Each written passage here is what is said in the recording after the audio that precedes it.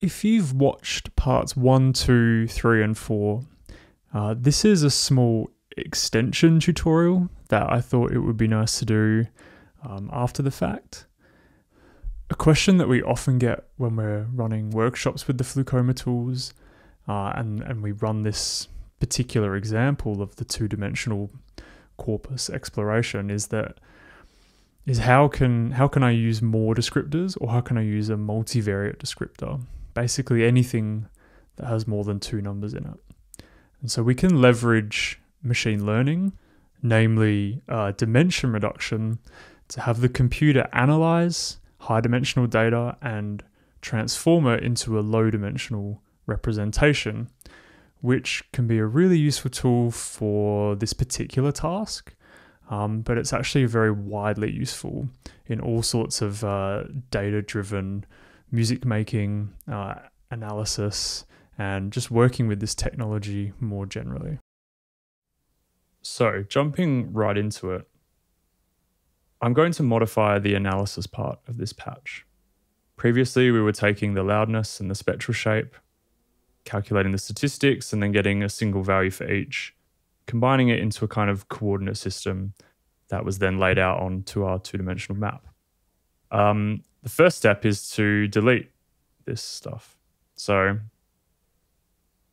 I'm leaving the start frame, num frames, and bang intact because we'll need those. Um, but I've got rid of all of the buff processing objects. I also uh, probably, I'm not going to need this. And I just want to leave the counter working down the bottom. So as promised, we're going to use a descriptor that doesn't conveniently fit onto two dimensions, which is buff MFCC. Uh, for now, you can think of this descriptor as a kind of compressed spectrum. Um, and I encourage you to go and check out the Learn Platform article on buff MFCC, um, which is a really good explanation of what these values mean and what they try to represent or model in a sound. Um, if we take the source as sound and the features as MFCC, and we should also do numchans one to only process one channel in case there's a mixture of mono and stereo files. If I if I just process the whole file for now, just so we can see, we get a 13 channel buffer by default. And it is as many frames long as there are analysis windows. So I'll just say n frames. And each one of these channels is uh, an MFCC coefficient. So you might think of them kind of like bands of a spectrum um, in this case. What I'm then going to do is take the statistics of each band or each coefficient. Um, and so I'll call this um, MFCC stats. Just neaten as I go, otherwise it will get horrendous.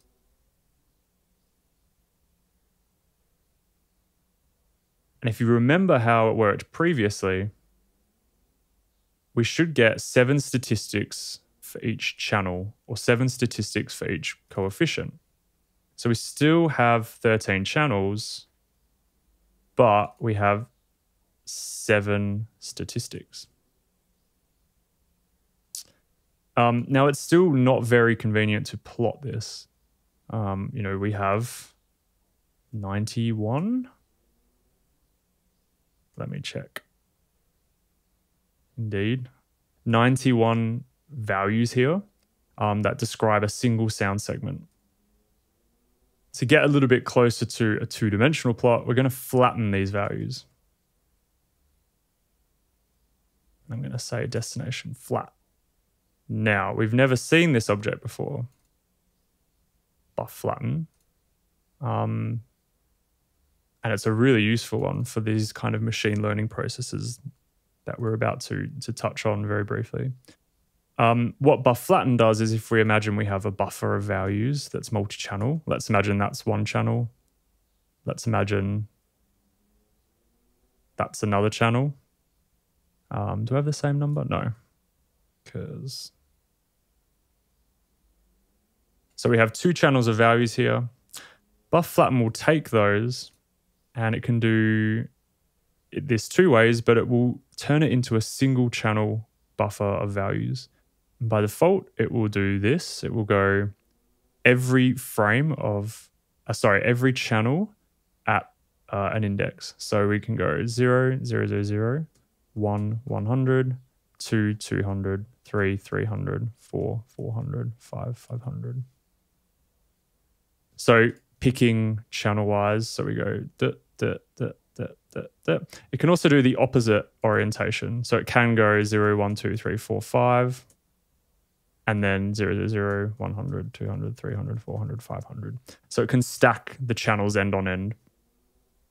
Doesn't really matter which way we do this in this case. Um, we just want to have one consistent way of doing it.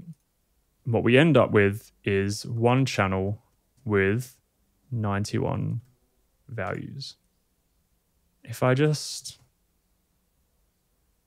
take these values and have a look, oh, there's nothing in there.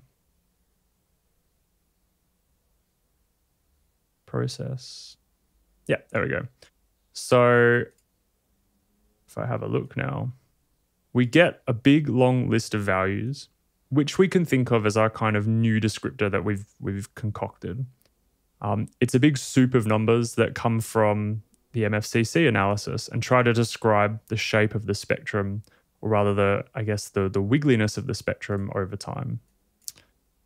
And so this is all compacted into a into a long list, which we can then add to our data set.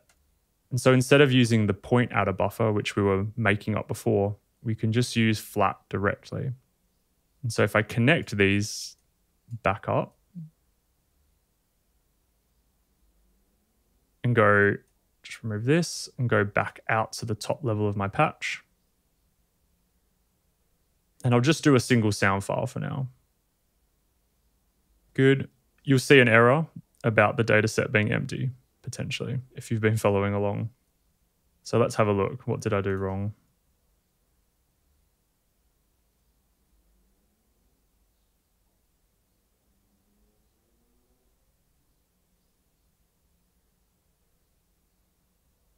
oh, I didn't hook up the bang. So we need to connect all of these uh, old parts of the patch that we had connected before. If we remember correctly, num frames here dictates how many frames it should process with the buff MFCC or audio samples in this case, and where it should start in the source buffer. And then the bang tells it to start processing. So now that I've solved that problem, go back out, we'll get a complaint that the data set we provided to the plotter should be exactly two dimensions. That's the error I was looking for. And that makes sense because when we look in here, we have 23 rows, so one row per segment, and 91 columns. And each one of these columns will um, be one of the values from our long list that was in this buffer called flat. So this is the first part. We've created our new sort of big soup of, of numbers, which is our descriptor. And we want to take those 91 values and then use some machine learning to um, restructure it or project it into two dimensions. So we can step out of the analysis patch now and just move down to normalization scaling.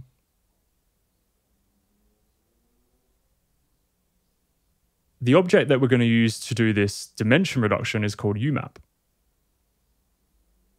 And it is part of the dataset family of objects in the FluCoMa universe and works quite similarly to normalize. We provide it with a dataset input and then and we can take the results and put it into a dataset output. So that's actually going to be the first stage before normalization. So I'll move this down and move this back up and I'll remove this patch cable. Actually, I need a little bit more space. So what we're going to do is we're going to fit transform analysis to reduction. So every time all that analysis is completed and we create this data set over here with 91 values per row, we're then going to tell UMAP, please take this down to uh, two dimensions. And we need to make the data set output here, which is called reduction. So once we've done that, I'll print the contents. It's a little squashed. We can see here we now have 23 rows, the same as what we had before, but we have two columns instead of 91. And these two values here per segment, they're like a new um, representation of the original data that is um, smaller. First of all, we have less values, in theory as well, it's also discarded um, much of the redundant information that was originally there and found a way to, um, I guess, focus on what's what's really salient about the data, some kind of intrinsic structure that can be represented in less values.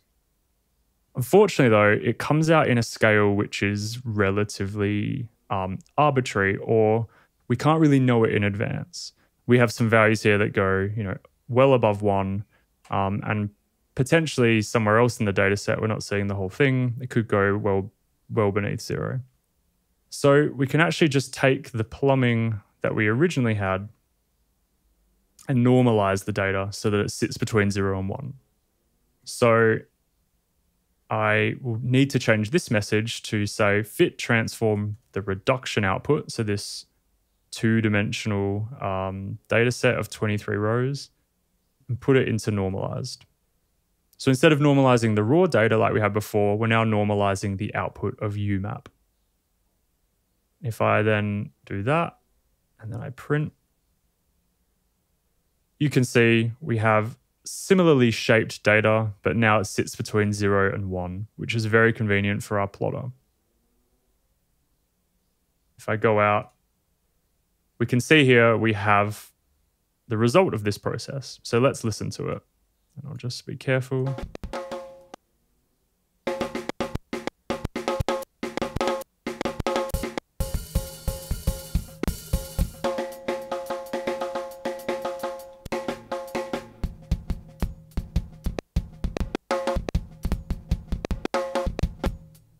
So, what you'll notice, first of all, is we no longer have a sense that left and right and up and down actually map onto a specific descriptor. We no longer have a concept of centroid being up high um, when it's when it's bright, or centroid centroid being low when it's when it's dull, or the louder things being on the right, or the softer things being on the left. We have a new um, space that is based on those 91 values that we produced in here being compressed into two. And so, what UMAP tries to do is best represent the inner structure and the complexity of this data in less values. And in theory, things that are perceptually similar um, because of this data should should result in being closer together on the map here in two dimensions. If we try this with a much bigger data set using my um, concat audio files abstraction here, and then hitting bang. We'll wait for a bit and see what happens. Hopefully, though, we get a space where sounds that are very similar are pulled together in this two dimensional space, and sounds which are more dissimilar are further apart.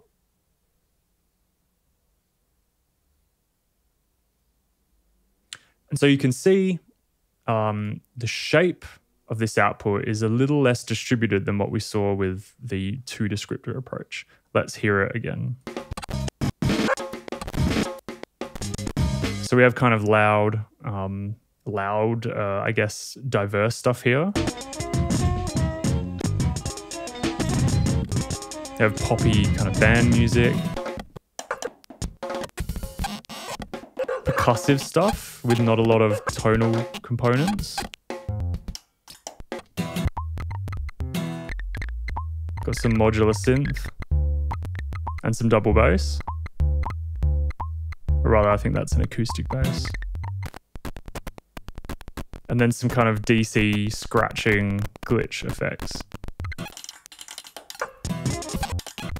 And so this approach is really powerful because we can supply 91 values as values which describe our sounds, and then have UMAP down here figure out how to best represent them in two dimensions, throwing away kind of noisy, potentially um, not meaningful data, and finding a better representation for it that works in two dimensions, which is really convenient to then plot and play with.